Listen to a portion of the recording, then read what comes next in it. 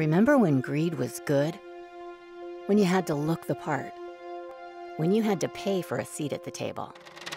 We set out to change it, the way the system works, to put the power in everyone's hands, to make it feel, speak, sound, and look just like you. We all invest every day in ourselves, our communities, our future. We are all investors.